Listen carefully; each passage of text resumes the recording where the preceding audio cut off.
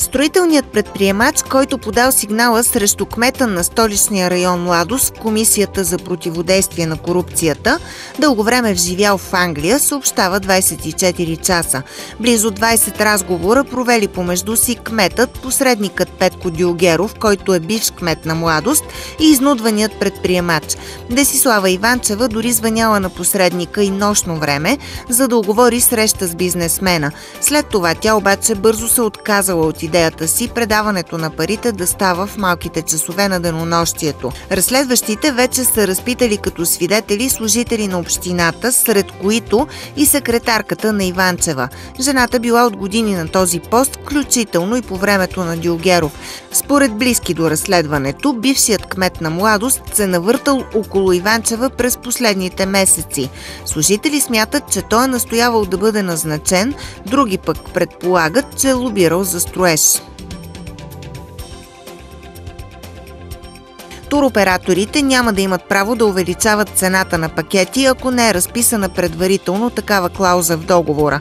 Това предвиждат окончателно прияти промени в закона за туризма. Срокът за уведомяване на пътниците при повишаване на цената е минимум 20 дни преди пътуване. За нарушение ще се налага глоба от 500 до 3000 лева. Измененията позволяват и прехвърляне на договор за пътуване от едно лице на друго след предизвестие от организатора в 7 дневен срок преди началото му. 500 000 лева е минималната задължителна застраховка за туроператор, който предоставя пакети с включен чартарен полет.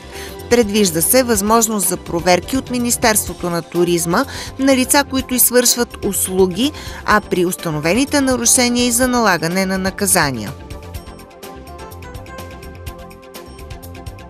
Националната агенция за приходите търси 217 служители за звеното фискален контрол. НАП обяви конкурси за инспектори по приходите в София, Варна, Пловдив, Бургас и Велико Търново. Те ще работят в екипи и ще извършват контрол на територията на цялата страна.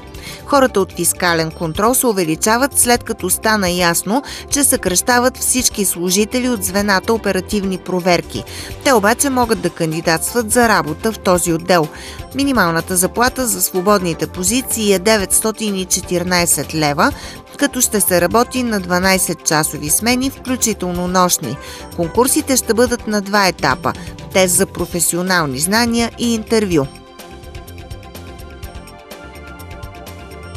В интервю за швейцарския Нойе Цюрихер Цайтунг, премьерът Бойко Борисов не оставя и грам съмнение за западната принадлежност на България, но в същото време предупреждава, че не бива да се проявява прекалена твърдост спрямо Русия на провокативния въпрос на вестника дали е популист, след като от десетилетия насам налага своя личен отпечатък на властта в България, но в същото време обича да се дистанцира от политическата класа, Борисов отговаря отрицателно и добавя аз съм човек, който иска да върши добрини за обществото. По-нататък премиерът отбелязва, че е радостен от постигнатото през последните години и споменава в тази връзка новите автомагистрали и метрото в София – Българите няма да забравят солидарността на Европа, с чиято помощ бяха изградени тези обекти, уверява Борисов.